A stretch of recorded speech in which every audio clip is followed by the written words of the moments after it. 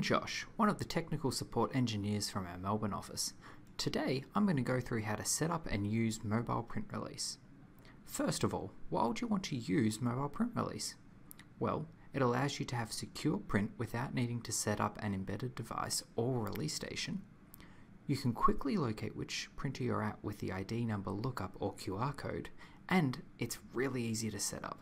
On that note, let's dive into the Papercut admin console to get it going. Here you can see a list of printers I've set up in advance. I have a virtual queue for Find Me Printing and all my physical queues which point to actual devices. What we can do is select one of the physical queues to bring up its summary page. Now I'm going to enter a department into the location department field. This doesn't have to be unique as there may be multiple printers in the English department. Then I'll scroll down to the alternate ID field and enter in a unique ID. For this printer, I'm going with ENG1.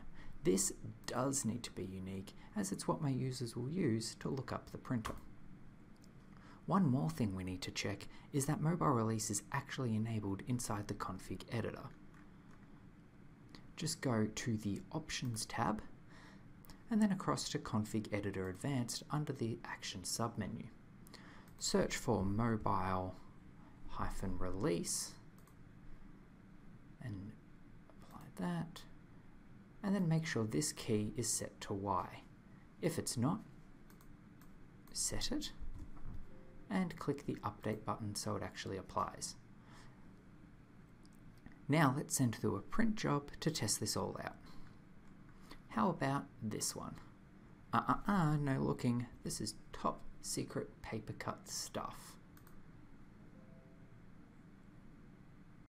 Okay, so here we are at the printer. I've sent that print job and it's currently being held for release. I'm going to open up Safari on my iPhone, but naturally this works on Android or even from a computer.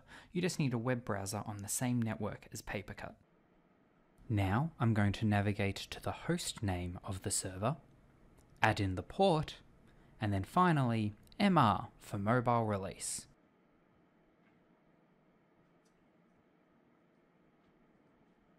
As you can see, it's taken me to a logon page. I just need to log in with my Papercut user account like normal. I can even save my details for next time. I'll also quickly point out that you can add this main page to your home screen to make it super accessible as a user. In Safari, just tap the export button, then add to home screen. Here, you can see the list of printers on my system. Up the top, there's a search bar. I can search for the location we entered earlier and it will bring up all the printers in the location. Or I can search for the unique ID which will bring up just this one printer. What you can do is put a physical label on your printer so your users know which printer they're at, like this one. Or you could get really fancy and slap a QR code on there. Each printer's unique ID forms the end of the URL. So for this printer, the URL is my server name, the port 9191, slash mr slash eng hyphen 1. Note that this is case sensitive. We even have a server command that you can run to generate QR codes for the printers. Simply open a command prompt as admin, and then we'll navigate to the Papercut directory.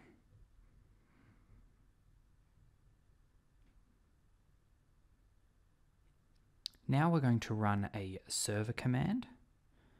That command will be generate printer QR codes.